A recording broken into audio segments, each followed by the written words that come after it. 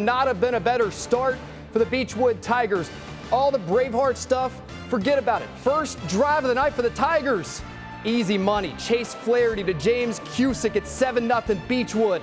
And when I tell you everything is going their way early, I mean everything. Can I get a big man touchdown?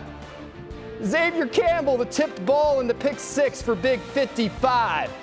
Beechwood went up 21 0 in the first quarter, but William Wallace never backed down. Neither will the Colonels. On fourth down, Evan Pitzer finds Tate Crewer in the end zone.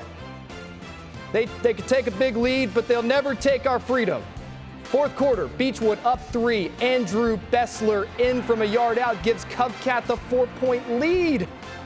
Beechwood with one final chance on offense, about a minute left in the football game. Fourth down here, Cash Harney, cash me outside.